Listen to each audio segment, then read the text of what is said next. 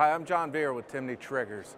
Um, people often ask, why do you want a trigger? And the reason for it is to make yourself more accurate with a rifle. So Timney's been around since 1946. We've designed dozens, hundreds of triggers really over the years. And uh, this year, we've come up with four new models of triggers. First off is uh, a Mossberg ATR trigger. It's adjustable from one and a half pounds to four pounds. It's creep free, no over travel, comes with a safety on it already.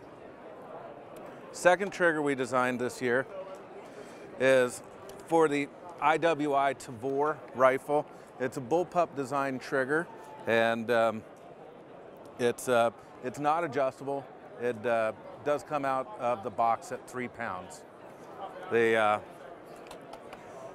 third product we made a trigger for is what we call the Calvin Elite series. We started with the Remington 700 design.